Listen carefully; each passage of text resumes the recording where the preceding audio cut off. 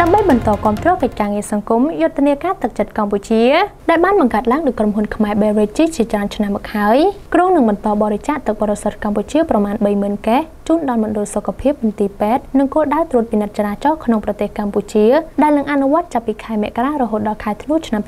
2022ក្នុងនោះក្រុមហ៊ុននឹងបង្កើនចំនួនទីតាំងពី194ក្នុងឆ្នាំ2021ទៅ200ទីតាំងក្នុងឆ្នាំ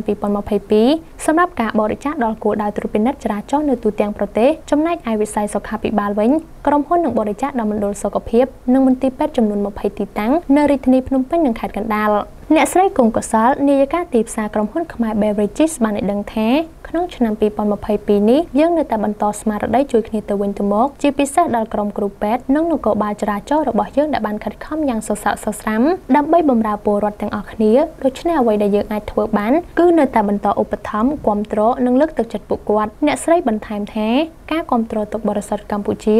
ដែលគ្រប់ដំណក់ត្រូវបានបន្សុទ្ធដើម្បីសុខភាពគឺប្រៀបដូចជាការគ្រប់គ្រងដល់យុទ្ធនាការទឹកចិត្តកម្ពុជាដើម្បីបន្តជួយដល់កិច្ចការងារសង្គមដែរក្រៅពីគោលដៅខាងលើយុទ្ធនាការសប្បុរសធម៌មួយនេះក៏នឹងបរិច្ចាគទៅដល់ស្ថាប័នផ្សេងទៀតទៅតាមស្ថានភាពជាក់ស្ដែងផងដែរនេះខ្ញុំសាស្ត្រីណាតពីកម្មវិធី Hoxabers